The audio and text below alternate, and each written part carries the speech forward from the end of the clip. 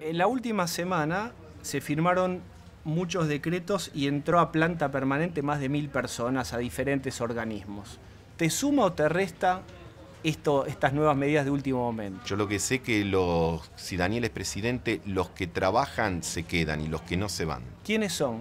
Jugátela, jugátela. ¿Quiénes, ¿Quiénes son? son? ¿Qué- qué- los sí, que no los laburan. nombres? ¿La cámpora? No, los que no laburen, cualquiera fuese la bandera que pertenecen, no me ¿Quiénes importa. ¿Qué me importa? ¿Y cómo voy a saber yo ¿Pero a quiénes quién son? te referís? Todo el mundo dice, ¿a quién? A ver, Marangoni re- llega al área y no mete el Mirá, gol. me refi- Juéguesela, yo- no. Marangoni, a la cámpora. ¿quién No, es? yo lo que te digo es que voy a hacer lo mismo que hicimos en el banco provincia y que logramos tener ¿Qué? una planta adecuada de trabajadores que además es menor a la que teníamos cuando entramos, es decir, que aumentamos la productividad Pero y no va- tuvimos la necesidad de echar a nadie, simplemente de respetar que el que trabaja y el que va todos los días Y a el, su y el laburo, que hagan el censo y no venga o tenga altos autismo, ¿se va? afuera, obvio. Es lo que corresponde.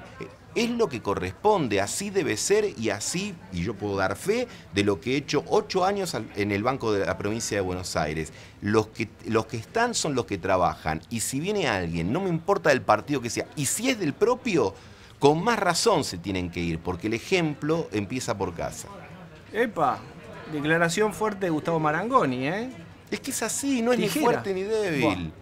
No, no es tijera. Es, es, es tener una, un, un es- un esquema de incentivo, porque no puede ser que dos personas cobren el mismo salario y una trabaje y la otra no. Pero eso es independiente si esa persona es peronista, radical, de Virgo o de Capricornio. O de la cámpora. Por ejemplo. Bueno.